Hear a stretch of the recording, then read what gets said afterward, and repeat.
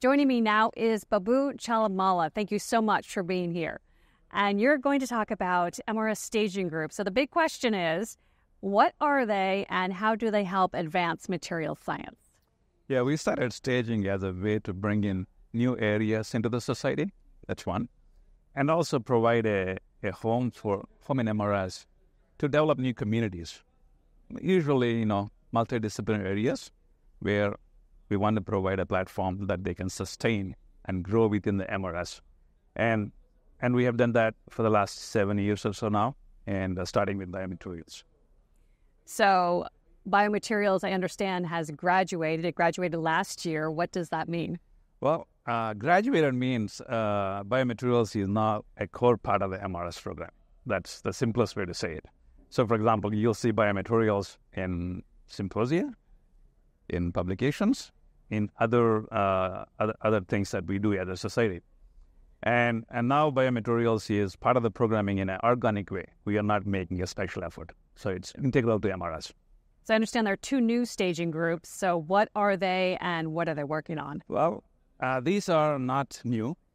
These are actually topics which used to be part of MRS for many years, and we lost these communities. So use it, we are using staging as a way to bring them back. So, for example, metals has been a part of MRS from the beginning. You know, JMR is still the uh, fifty percent to your articles in JMR are, are, on metals, but we don't have a lot of programming in metals in the in the in the in the fall and meetings. How do we bring metals back? Is one. So we have a staging group on metals. So our effort is, you know, can we bring those communities and let them prosper within MRS? That's one.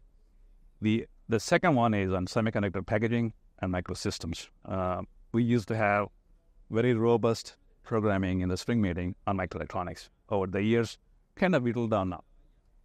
We're trying to make an effort to bring semiconductor packaging and all the things that associate with packaging, including microsystems like MEMS, hybrids, photonics, all those things.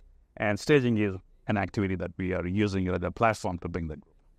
So, how are these staging groups helping shape the future of the field?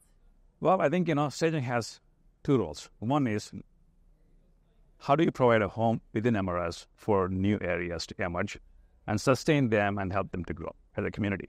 That's one. And now also, now we are using staging also as a way to bring things which we have lost as a society. And that's, you know, a, a bigger and harder effort.